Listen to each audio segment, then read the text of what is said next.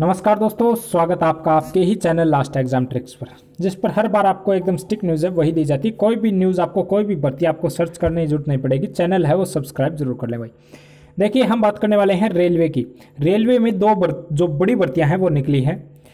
480 post है एक में और एक में है 680 पोस्ट 480 पोस्ट वाली है नॉर्थ सेंट्रल रेलवे की और 680 वाली है वेस्ट सेंट्रल रेलवे की। तो इसमें जो चयन किया जाएगा आपका, वो बिना परीक्षा के सीधा किया जाएगा दसवीं के अंकों के आधार पे। और इसमें जो एज रहेगी, एज यहाँ पे पंद्रह से चौबीस रहने वाली है।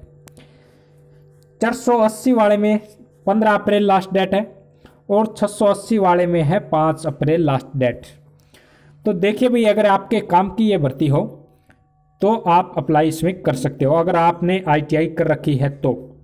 इसमें आईटीआई देखो, दसवीं के साथ आईटीआई होना ज़रूरी है। तो देखिए। सबसे पहले हम बात करेंगे पश्चिमी मध्य रेलवे, जो वेस्ट सेंट्रल रेलवे मैंने आपको बताया था, उसकी हम बात करने वाले हैं। तो इसमें जो, ये देखो, पाँच जो चार दो हज़ार इक्कीस, इसकी लास्ट डेट है छः तीन से ये फॉर्म स्टार्ट हो गए थे। और एक चीज़ मैं आपको बता दूँ पहले ही इसमें जो ये पद हैं, ये अप्रेंटिस के हैं भाई। इसमें आपको ट्रेनिंग दी जाएगी। ट्रेनिंग के बाद आपको नौकरी, आपकी योग्यता के आधार पर नौकरी मिलेगी। ऐसा नहीं है कि भाई इसमें आपका जो हो गया दसवीं के आधार पर और फिर आपको नौकरी मिलेगी। नहीं नहीं, ऐसा कुछ नहीं होने वाला है। आपको यहाँ पे ट्रेनिंग के लिए आपकी भर्ती की जाएगी। ट्रेनिंग के बाद आपको यहाँ पे जो आपकी योग्यता देख के फिर आपको नौकरी यहाँ पे दी जाएगी। तो अगर आप इसके इच्छुक हैं, भी बढ़ना चाहते हैं तो आगे की जो शर्तें हैं वो देख लीजिए। इसमें क्या क्या बता रखा है? योग्यता आप यहाँ देख सकते हैं। अभ्यर्थी जिन्होंने मान्यता प्राप्त संस्थान से दसवीं या समक, समकक्ष परीक्षा या टेन प्लस टू मान सकते हैं आपको। और न्यूनतम पचास परसेंट अंकों के साथ होनी ज़रूरी है भाई। और संबंधित ट्रेड से आईटीआई पास होना बहुत ही ज़रूरी है। 680 पोस्टों पे ये भर्ती है। 680 पोस्टें आप यहाँ देख सकते हो। छः अस्सी पोस्टों पे यहाँ पे भर्ती है। सब ट्रेड की यहाँ पे भर्ती होगी आपकी। इलेक्ट्रिशियन, फिटर और वायरमैन, वेल्डर, कंप्यूटर ऑपरेटर। ये देखो, बहुत सी भर्तियाँ हैं। आगे देखिए छः नंबर कारपेंटर, पेंटर, सभी ऐसी मैकेनिक हो गए। तो ये सभी की भर्ती है और इसमें देखो अलग अलग पद हैं। एस सी के सताईस हैं। जैसे इलेक्ट्रिशियन की अगर हम बात करें तो एस सी के सताईस हैं एस टी के चौदह हैं, ओबीसी के उनचास हैं। ई के यहाँ पे अट्ठारह हैं यू आर के तिहत्तर हैं टोटल एक सौ इक्यासी यहाँ पे है। तो फिर आगे भी देखिए। और इसकी जो लिंक है दोनों के, ये मैं आपको डिस्क्रिप्शन में प्रोवाइड करवा दूँगा। वहाँ से आप देख के भर सकते हैं। फिर देखिए, इसमें शारीरिक रूप से विकलांग उम्मीदवारों में से फिटर हेतु केवल लोकोमोटर अक्षम या स्वेरल पॉलिसी व बहरे विकलांग उम्मीदवार जो 40 परसेंट तथा उससे अधिक हों, आवेदन हेतु योग्य होंगे। जो मतलब हैंडीकैप्ट हैं, जो जो जैसे बहरा हो गया, कोई है, विकलांग किसी भी प्रकार से तो वो इसमें अप्लाई कर सकता है भाई। फिर इसमें क्या है? आगे देखिए, बारह नंबर में, कि निम्नलिखित विवरण के अनुसार अप्रेंटिस हेतु भूतपूर्व सैनिक, उनके बच्चों तथा आर्मड फोर्स व्यक्तियों के बच्चों हेतु तीन परसेंट पद आरक्षित रहेंगे। तीन परसेंट पद यहाँ उनके आरक्षित रहने वाले हैं। रेलवे बोर्ड के पत्र संख्या ये जो है, शांति समय के दौरान ये जो जब भी मतलब आपातकाल लगा था जो जो कुछ भी मतलब अधिकारियों के बच्चे हैं, उन सबको ये मतलब आरक्षण देने वाले यहाँ पे, आयु सीमा यहाँ पे आप देख लीजिए। आयु सीमा रहेगी इसमें पच्चीस दो दो हज़ार इक्कीस को आवेदक पंद्रह वर्ष का होना चाहिए। किंतु चौबीस वर्ष की आयु पूर्ण न की हो, पंद्रह से चौबीस के बीच में आवेदक होना चाहिए। और इसके अलावा अगर हम बात करें तो ओबीसी को एस सी को, ओबीसी को यहाँ पे तीन साल की छूट मिलने वाली है। और जो अज्जा और एजजा है, जैसे मतलब एस सी है, उनको यहाँ पे पाँच साल की छूट मिलने वाली है। और जो शारीरिक रूप से विकलांग अभ्यर्थी हैं, उनको यहाँ पे दस साल की छूट मिलेगी।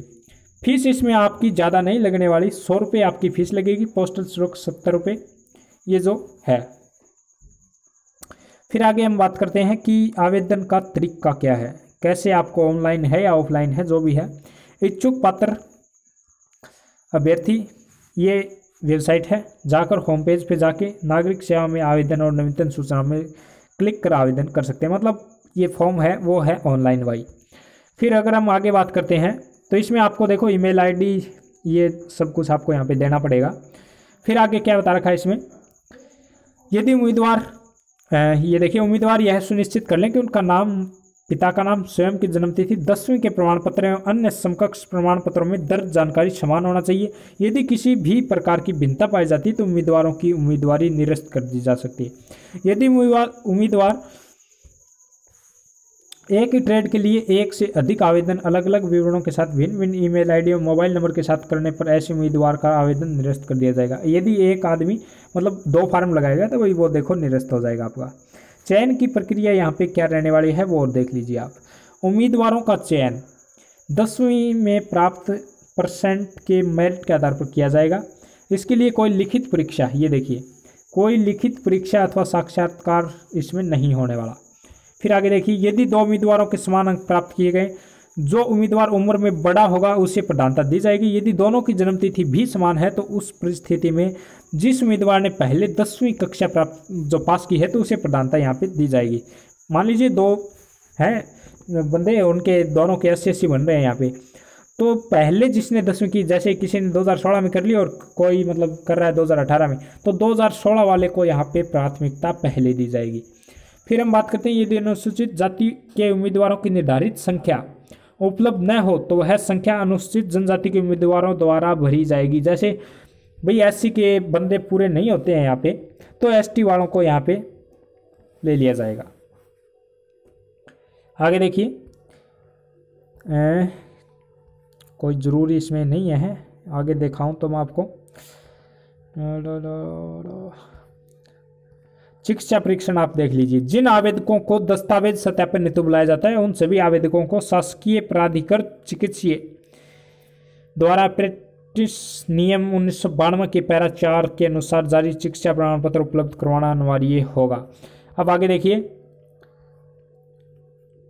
इसमें कोई ज़्यादा खास बात तो है नहीं। देखो आपको क्या क्या अपलोड क्या क्या करने इसमें साथ साथ है एसएससी या समकक्ष मतलब दसवीं की आपको यहाँ पे स्टैंडर्ड दसवीं का ये जो प्रमाण पत्र अंक सूची आपकी वो जारी करना होगा में मतलब।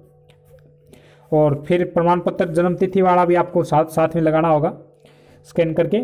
और एनसीबीटी द्वारा जो आपकी आईटीआई आपने कर रखी है, वो लगानी होगी। और S C S T O B C का जो जाति प्रमाण पत्र है, वो आपको यहाँ पे लगाना पड़ेगा। और अगर आप विकलांग हैं तो वो आपको साथ में लगाना पड़ेगा। तो ये चीज़ें भाई। और ए डब्ल्यू एस क्या है? ई डब्ल्यू एस संविधान निर्धारित जारी प्रमाणपत्र हाँ ए डब्ल्यू एस वालों को भी अपना ये साथ में लगाना पड़ेगा।